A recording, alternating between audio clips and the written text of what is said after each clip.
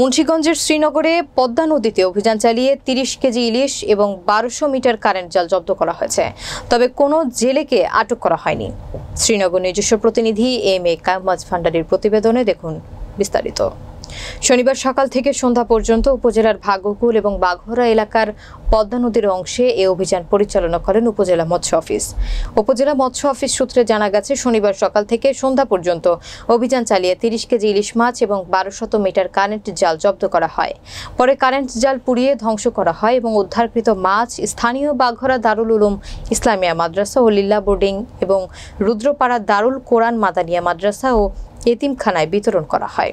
উপজেলা সিনিয়র মৎস্য অফিসার সমীর কুমার বসাকের নেতৃত্বে অভিযান পরিচালনা করেন জেলা প্রশাসক কার্যালয়ের সহকারী কমিশনার মাসুদ পারভেজ।